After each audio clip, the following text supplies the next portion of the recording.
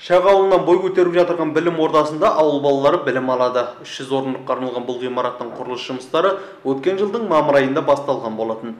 Бұйырса биыл қыркүйек айының соңына таман тапсырылады деп күтілуде. Жалпы ауданы 6900 квадрат метр аумақты алып жатқан нысанның жұмыстарына жергілікті 120 адам тартылыпты.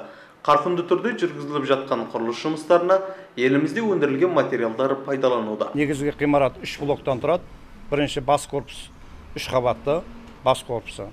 Екінші мынау б блок тұрғанымыз бұл спорт залы бар 18-де 30 и тамақтандыру ас бөлмесі сондай. Ал үшінші блок в бұл бастауыш класстарға арналған ал мынау нысанның үш нысанның аумағы 3241 метр квадрат. Негізі бұл екінші блок осы спорт залға арналған. Солардың балдарының жуынып шешініп дайындалатын и тамақтанатын пище блок.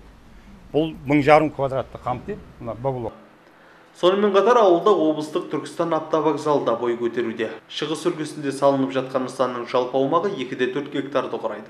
Жоспарға сай 600 автобусқа арнайы 15 тұрақ қарастырылған. елбасының бекіткен түркістан қаласының бас жоспарының концепциясына сәйкес салынып жатыр осы жерге концепцияға сәйкес осы жерде автовокзал орналасу қажет еді бірінші мәселе бұл бұл кезде макет өткен жылы қыркүйек айында елбасы келген кезде макеті көрсетіліп елбасының өзімен макеті мақұлданған бас жоспарға сәйкес орталықтағы барлық автовокзалдар жабылады Тәулігінде 10 мың адамға дейін еліміздің Алматы, Нұрсұлтан секілді бағыттарымен қатар облыстың өзге де аудан қалаларына қатынауға мүмкіншілік бар.